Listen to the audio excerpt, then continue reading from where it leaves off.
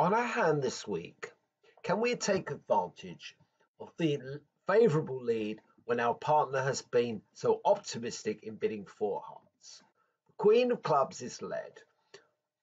The and queens are not good leads at bridge, so it looks like West has led from Queen, Jack, and another. So hopefully we can immediately get rid of our club loser.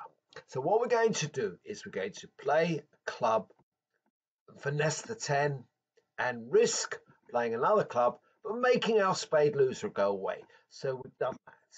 Now and only now can we start to draw trumps. So we play a heart. Well, that looks ominous. The king falling.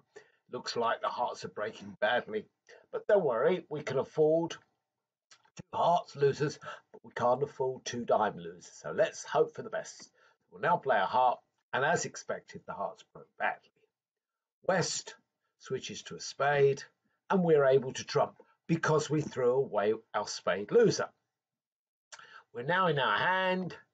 Let's broach the diamonds, which brings the queen. Now, as long as East hasn't got the king and the queen, and West has got the missing king, we'll be okay. East gets off lead with another spade, and we now play another diamond, and the diamond finesse works.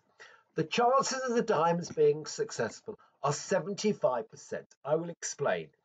If if West has the king and East has the queen, that's one situation and we'll be successful. If we if the cards are the other way around, with East having the king and West having the uh, queen, we'll be successful.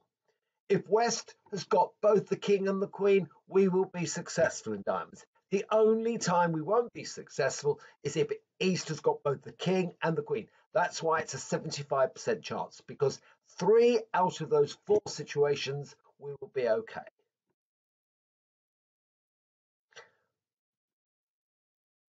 He can have his heart and the rest are ours. We lost one diamond because we did the diamond finesse. We lost two hearts with the hearts breaking badly, and because of the fortuitous lead, we were able to uh, finesse the club and we uh, were able to get away our spade loser.